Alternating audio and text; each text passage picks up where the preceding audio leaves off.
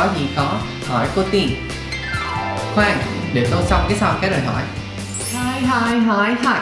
Xin chào mọi người đã đến với chuyên mục Cô Tiên Tâm Lý, Nơi Lộc sẽ trả lời tất cả các thắc mắc, Tư vấn tâm sinh lý tuổi dậy thì Từ độ tuổi còn đang thanh xuân Cho tới lúc mà cần phải đem ra thanh lý. Cho nên tất cả các bạn chúng ta có câu hỏi nè, Có thắc mắc nào đó có thể gửi cho Đà Bảo Lộc ở địa chỉ sailorb 48 gmail.com Và đến với số đầu tiên của Cô Tiên Tâm Lý Thì chúng ta còn có giveaway nữa các bạn à. Đầu tiên sẽ có một phần quà đặc biệt dành cho tâm sự được bình chọn nhiều nhất. Mọi người sau khi xem xong video này có thể comment ở bên dưới là À mình đồng cảm với câu hỏi số 1 Mình đồng cảm với tâm sự số 2 chẳng hạn. Và câu hỏi hay tâm sự được mọi người bình chọn nhiều nhất sẽ nhận được một phần quà may mắn. Phần quà thứ hai sẽ dành cho một người bình chọn may mắn, Tức có nghĩa là trong số chúng ta bình chọn cho người khác, Thì Lộc vẫn lựa ra trong số tất cả các bạn mà comment bình chọn cho người khác Một bạn may mắn nhất và người này cũng nhận được một set quà trị giá ngang ngửa luôn.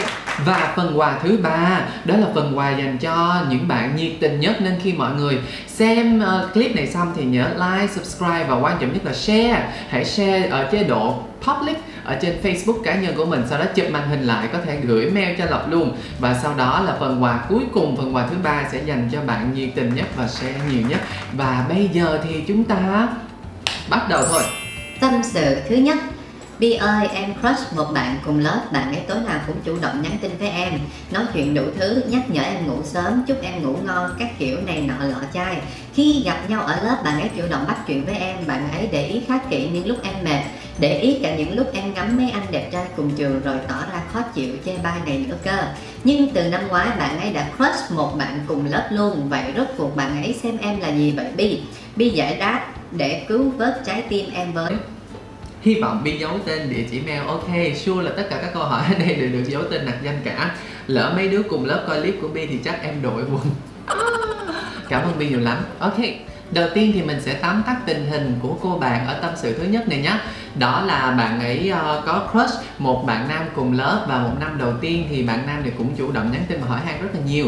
Nhưng mà sau đó một năm thì bạn nam này đã, oh, đã đi thích một bạn khác mất rồi. Và cô bạn này đang thắc mắc là không biết là rốt cuộc bạn nam này xem mình là gì. Thì đầu tiên Bi sẽ trả lời cho thắc mắc cuối cùng của em đó là Vậy rốt cuộc bạn nam ấy xem em là gì? Thì đây vốn dĩ là câu hỏi mà không phải Bi hay em có thể trả lời được. Nếu như cái điều này nó thật sự quan trọng đối với em uh, em dành thời gian suy nghĩ và nếu cảm thấy điều đó cần thiết thì em nên trực tiếp hỏi thẳng thắn bạn nam này để biết được rằng đối với bạn ấy thì bạn ấy xem mình là gì nhé thứ hai, đó là trong như ờ, tâm sự bạn ấy đã có chia sẻ với chúng ta là trong năm đầu tiên, đó là bạn nam này tối nào cũng chủ động nhắn tin này nọ, lọ chai, tất cả các thứ, để ý tất cả nhiều thứ. Nhưng mà đến năm thứ hai thì bạn nam này mới chuyển sang thích một bạn nữ khác. Và ở đây bi có một câu hỏi cho riêng em em phải tự nhìn lại bản thân mình xem là khi mà mình crush người ta, nhưng tất cả các hành động tâm lý là tình cảm là đều do đối phương chủ động hết. Em nghĩ rằng là một mối quan hệ thì nếu như chỉ có một bên chủ động thì nó có lâu dài được không? Bản thân mình cái cá nhân bi thì bi nghĩ tất cả các mối quan hệ bao gồm cả tình yêu nè bạn bè nè chúng ta cần phải nuôi dưỡng giống như cái cây gì đó nó phải hai bên cùng nuôi dưỡng thì mới có thể phát triển được. Nếu mình con gái mà mình nghĩ mình trong tâm lý à, mình cứ ngồi đó đi cho người ta thích mình thì dĩ nhiên sau một năm cái chuyện mà người ta không còn thích mình nữa và chuyển sang thích một người khác là điều rất là hiển nhiên. Tới đây thì chắc là bạn cũng đã hiểu ý của bi rồi nhưng mà bi sẽ chốt lại cho bạn hai vấn đề nhé. Thứ nhất nếu mình thắc mắc là bạn nam ấy xem mình là người như thế nào và điều điều này thật sự quan trọng đối với mình thì mình nên tìm dịp hoặc tìm một cách nào đó để hỏi hoặc xác minh trực tiếp đối với bạn trai đấy. Thứ hai là trong tất cả mọi thứ mình muốn và trong tất cả các mối quan hệ thì mình cũng cần phải là người chủ động nữa. Mình không thể nào nếu mình chỉ ngồi đó và chờ người ta thích mình thì um, chắc là điều này sẽ không được như ý muốn của mình đâu. Chủ động và đừng lười biếng nhé. Bây giờ chúng ta sẽ đến với tâm sự thứ hai. Xin chào cô Tiên Tâm Lý ạ. à. Ờ, cô Tiên chào bạn. Em năm nay 15 tuổi và đương nhiên tuổi 15 của tụi em sẽ thích một người nào đó. Em cũng vậy. À, hi, hi, hi. Em có thích một anh lớp 11 Em thích anh đó từ hồi năm lớp 7 tới giờ luôn rồi. Lúc đầu em cũng không có dám làm quen Mãi đến hồi đầu năm nay em mới làm quen được rồi có nhắn tin vài lần. Sau đó em biết tin là anh đấy cũng có crush. Nói thiệt là em buồn kinh khủng. Em uncrush ráng không nghĩ tới nữa mà không biết lý do tại sao hồi tháng 10 gần đây sau khi nhắn tin với ảnh có dịp nhắn tin với ảnh thì em thích ảnh trở lại. Em định tỏ tình vào cuối năm nay mà sợ ảnh không đồng ý vì tụi em không có thân nhau, thường xuyên nhắn tin lâu lâu. Thì nhắn một lần với lại em cũng thấy xung ảnh xung quanh ảnh có quá trời người đẹp còn em thì thuộc dạng không xinh, nhan sắc hết sức bình thường. Với cả gia đình em cũng không khá giả như họ. Em thấy thua họ rất nhiều nên em không có can đảm tỏ tình. Em nên làm thế nào đây ạ? À? mong cô tiên trả lời và cho em vài lời khuyên. Đầu tiên thì cho phép cô Tiên xin được oh, vỗ tay chúc mừng bạn bởi vì uh, cá nhân uh, cô Tiên thì cảm thấy là bạn rất rất rất rất là dũng cảm khi quyết định tỏ tình và theo đuổi cái điều mà mình muốn. Uh, thật ra ở đây là chúng ta đọc qua thì có thể biết là bạn ở tâm có tâm sự. Thứ hai này bạn đã có biện pháp để giải quyết vấn đề của mình. Thứ nhất là khi mà biết là cái crush của mình họ đã thích một người khác rồi thì đã quyết định là ô không thích anh ấy nữa nhưng mà sau một năm thì cảm thấy là mình làm điều này không được thì mới quyết định tỏ tình. Tức nghĩa là à mình đối mặt với chính vấn đề của mình và muốn giải quyết. Thì đây là một điều rất là dũng cảm. Sẵn đây thì bi chia sẻ với em một điều đó là dù mình tỏ tình mà anh ấy có không đồng ý đi nữa thì uh, mình phải định nghĩa được trong đầu rằng cái chuyện tỏ tình với một người nó không chỉ dành riêng cho một mối quan hệ mà cái điều này nó rất là tốt cho bản thân em. Bởi vì em sẽ tập được cho mình cái thói quen theo đuổi những cái gì mà mình muốn và đối mặt với vấn đề của mình. Đây là một điều rất dũng cảm bạn chúng ta có ghi là em thì thuộc dạng không sinh, nhan sắc hết sức bình thường và gia đình em cũng không khá giả như họ. Em cảm thấy thua họ rất nhiều nên em không có can đảm tỏ tình. Thật ra là cá nhân bi đầu tiên hồi nãy bi đã nhận định là bạn của chúng ta vô cùng can đảm. Thứ hai là khi bạn nhận ra được những cái vấn đề của mình là em thuộc dạng không sinh này kia đó là một điều rất là hay bởi vì không phải ai cũng nhận ra được điều này. À, khi mà mình thích một ai đó thì bi nghĩ là mình nên ngồi trước gương và nhìn vào gương nhìn vào mình trong gương và tự nghĩ rằng nếu mình là con trai thì mình có thích một đứa con gái như mình không? Cũng tương tự như vậy, giống như chuyện mà mình muốn thi vào trường đại học này kia thì mình cũng phải tự soi mình vào gương và xem là à năng lực của mình thì có xứng đáng với cái ngôi trường đại học đó không? Nên việc là bạn biết nhìn lại bản thân của mình để xem là mình ưu, mình khuyết như thế nào để khắc phục thì đây là một điều rất là hay. Nên là Bi sẽ một lần nữa chúc bạn thật sự là may mắn nhé. Và Bi xin phép được chốt lại vấn đề của bạn như thế này đầu tiên là bạn của chúng ta rất là can đảm à, đối mặt với điều mình muốn theo đuổi thứ mình muốn. Thứ hai là bạn cũng biết nhìn lại bản thân mình để xem là mình đang đứng ở đâu và mình cần điều gì. Đây là một điều rất là tốt nên Bi không biết nói gì hơn là sẽ chúc bạn thật sự may mắn và mong rằng à, em cũng sẽ đối mặt và theo đuổi nhiều thứ khác trong cuộc sống nữa chứ không chỉ theo đuổi duy nhất có tình yêu thôi nhé. Tâm sự thứ ba Bi nghĩ gì về friend with benefit? Bi nghĩ nên có mối quan hệ đó không? Đầu tiên thì uh, Bi uh, định nghĩa là một tí friend with benefit dành cho những bạn chưa biết thì đó là một mối quan hệ dành cho những người trưởng thành nha nhớ nha từ 18 cộng trở lên. Uh, chúng ta không yêu nhau uh, không có bất kỳ ràng buộc tình cảm gì cả nhưng vẫn có thể gặp nhau và và vẫn have sex với nhau bình thường. Không biết phụ huynh có phản ứng gì khi con mình trả lời này không? Thôi kệ phụ huynh đi. Ok à, nếu mọi người có muốn tìm hiểu thêm thì có thể google friend with benefit là gì. Thì à, đầu tiên cá nhân bi nghĩ thì cái này là tùy vào quan điểm sống của mỗi người. Nhưng mà nếu mà nhìn cho kỹ thì nó nếu như một cái điều gì đó mà nó không vi phạm luật pháp nè nó không khiến bản thân của mình và những người thân của mình bị thiệt hại thì à, điều đó bi nghĩ là nên tùy vào quyết định của bạn muốn hay không chứ mình không thể kết luận là đúng hay sai cho nên à, khi mà bạn đầu tiên nhá là đã 18 tuổi trở lên thứ nhất thứ hai là mình đang độc thân. Tức có nghĩa friend with benefit là chúng ta không phải đi ngoại tình nhé. Hai bên chúng ta là những người hoàn toàn độc thân và chúng ta chỉ muốn gần gũi nhau và hấp sex thôi. Ngoài ra là không muốn có bất kỳ cái ràng buộc tình cảm gì khác. Thì đầu tiên chúng ta nhớ, đầu tiên, nếu như mình đã 18 tuổi, mình đang độc thân và cái hành động của mình nó sẽ không gây ra cái thiệt hại hoặc là tạm thời trong cái tầm nhìn của mình mình biết là nó sẽ không gây ra thiệt hại cho bản thân mình, cho người thân và cho đối phương, đặc biệt là cho đối phương thì uh, điều này thì mình nghĩ là không sẽ không kết luận đúng hay sai mà nó nằm ở quyền là bạn có muốn hay không.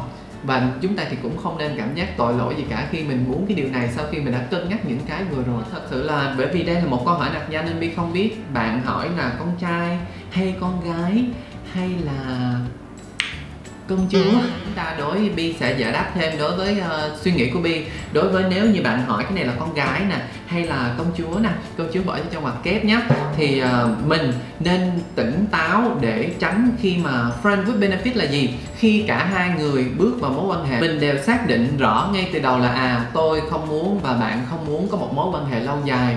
Chúng ta chỉ đơn giản là muốn uh, gần gũi với nhau hấp sex với nhau thôi. Để tránh trường hợp là mình bị đối phương lừa nhé.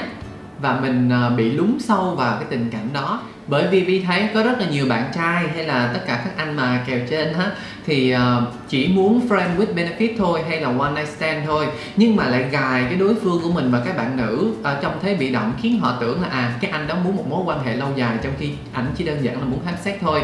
Cho nên tất cả các bạn nam nhớ khi mà mình muốn cái điều gì thì mình phải rõ ràng với bạn nữ là à mình chỉ muốn như đó thôi và không khiến người ta bị lầm tưởng là mình muốn một mối quan hệ lâu dài. Và các bạn nữ cũng thế chúng ta phải xác định rõ ngay từ đầu và tỉnh táo là đối phương muốn gì bản thân mình muốn gì. Để thứ nhất là mình không lún sâu vào mối quan hệ thứ hai là để tránh trường hợp bản thân mình lầm tưởng đó là một mối quan hệ lâu dài hoặc đối phương lầm tưởng. Nói chung là trong một mối quan hệ, cả hai bên đều phải rõ ràng ngay từ đầu. Tránh để trường hợp một trong hai bên lầm tưởng là đó sẽ là một mối quan hệ lâu dài thì điều này lúc đó thì nó sẽ rất là sai đó và bây giờ là tâm sự cuối cùng, tâm sự thứ tư. Em chào Bi ạ, à. Bi ơi em mới là sinh viên được hơn 4 tháng. Trong thời gian đầu em gặp nhiều khó khăn với môi trường mới Nhưng có lẽ em đã may mắn khi quen được một người anh khóa trên Sẵn sàng giúp đỡ và chỉ dẫn em. Trong một thời gian thì giữa em và người đó trở nên thân thiết hơn. Hai người còn có rất nhiều sở thích tương đồng. Lúc đầu anh ấy cảm thấy vui và trân trọng tình cảm của em Nhưng sau đó anh ấy quyết định thẳng thắn và nói ra rằng Anh ấy không thích con gái anh ấy không thích con gái. Tối hôm đó mọi cảm xúc của em rối trở nên buồn và hoang mang. Em không ngờ được chuyện lại như thế. Sau khi biết sự thật em cảm thấy thương ảnh nhiều hơn và tự nhủ phải đối xử với ảnh tốt hơn. Nhưng mà thật sự em không muốn mất đi một người bạn như thế. Vậy bây giờ em phải làm gì đây? Bởi vì uh, mối quan hệ của tụi em không còn được thân thiết như trước nữa. Bi ơi hay là em phải tránh mặt một thời gian sau đó mới nói chuyện lại nhỉ? Thứ nhất thì uh, bi cảm thấy em uh, đầu tiên là rất là dũng cảm nè. À, em đã nói thẳng với anh ấy biết là mình rất là thích anh ấy. Thứ hai là em còn rất là bao dung khi mà biết được rằng uh, bạn của mình uh, không có thích con gái nhưng mà mình vẫn không có ghét ảnh ngay từ lần đầu tiên mà mình vẫn cảm thấy là cần phải thương ảnh nhiều hơn. Tuy nhiên có một chỗ mà bi muốn làm rõ ở đây. Em nói rằng hai người có rất là nhiều sở thích chung và lúc đầu anh ấy cảm thấy vui và trân trọng tình cảm của em lúc đầu anh ấy cảm thấy vui và trân trọng tình cảm của em, bộ em là ảnh, sao em biết ảnh trân trọng? Có phải là tự mình đang phỏng đoán tâm lý của người khác không? Nói một cách xéo sắc hơn, có phải là bản thân mình đang hoang tưởng, mình tưởng tượng là người ta thích mình hay không? Sau đó và hiện tại thì em đang không biết là phải nên làm gì, bởi vì mối quan hệ của tụi em thì không có được thoải mái như lúc trước và hiện tại thì em có phải tránh mặt một thời gian sau đó mới nói chuyện lại hay không? Đầu tiên á, theo như bi cảm thấy là em thích người này trước và sau đó là em tưởng rằng người ta cũng thích mình, sau đó em nhận ra là người ta không thích con gái thì em bị sốc và em không biết phải làm gì cả. Nên là vấn đề vi nghĩ xuất phát nhiều từ phía em, đó là em đã nghĩ rất là nhiều. Em tưởng là người ta thích mình, em tưởng tưởng tưởng. Và chính vì cái sự suy đoán nhiều của mình nó gây ra cho mình rất là nhiều rắc rối. Và hiện tại thì biện pháp đầu tiên mà bi nghĩ, bi có thể chia sẻ em là em cứ thẳng thắn đối với người bạn này. Nếu mình cảm thấy không thoải mái thì mình cứ chia sẻ là ừ không biết tại sao nhưng em đang không cảm thấy thoải mái. Vậy thì bây giờ để cho tụi mình tốt hơn thì mình nên làm như thế nào? Cá nhân bi với người yêu của bi và với bạn bè của bi thì bi vẫn thường làm cái điều này. Thứ hai là mình phải điều chỉnh lại cái sự suy nghĩ hơi bị nhiều của mình, tự huyễn hoặc hơi bị nhiều của mình. Bởi vì khi mà nó, điều đó nó sẽ gài mình vào rất là nhiều thế kẹt khi mình lầm tưởng là người này thích mình mình lầm tưởng là người kia thích mình, điều đó rất là tai hại.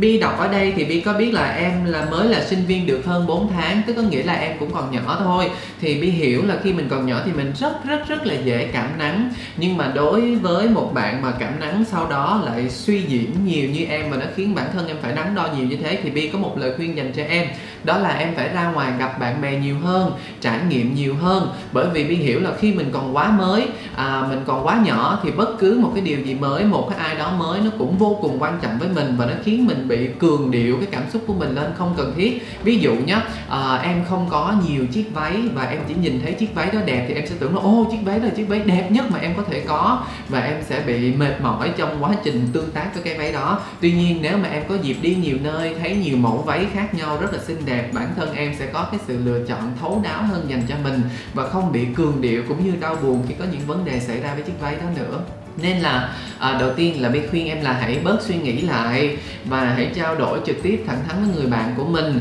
Thứ hai là phải nhận ra tất cả những vấn đề này. Bi cảm giác là phần nhiều là do bản thân mình cường điệu hơn mà thôi. Cho nên là giải pháp cho chuyện này một giải pháp quan trọng nữa về lâu dài là em hãy kết bạn nhiều hơn gặp gỡ nhiều bạn hơn để mình có nhiều trải nghiệm sống hơn và mình sẽ đối mặt với những chuyện nhỏ xíu như con kiến này một cách dễ dàng hơn. Ta-da! Và tiết mục tư vấn tâm sinh lý tuổi dậy thì số đầu tiên của cô tiên tâm lý tới đây là đã hết rồi. Cảm ơn mọi người đã quan tâm theo dõi. Và tất cả các bạn ơi chúng ta đừng quên Đầu tiên đó là hãy comment bình luận cho tâm sự mà mình đồng cảm nhất Để bạn đó giành được giải thưởng nè. Chúng ta cũng có giải thưởng. Và mọi người phải nhớ share thật là nhiều Like và subscribe, thumbs up à, Share trên Facebook nữa. Ở chế độ công khai nhé Sau đó chụp màn hình và có thể gửi về địa chỉ mail sailorb48 gmail.com để chúng ta cũng được nhận quà luôn. Và đừng quên đón xem cô tiên tâm lý cũng như tất cả mọi người có thắc mắc gì thì cũng gửi về địa chỉ mail cũ nhé. Ok, và bây giờ thì tạm biệt.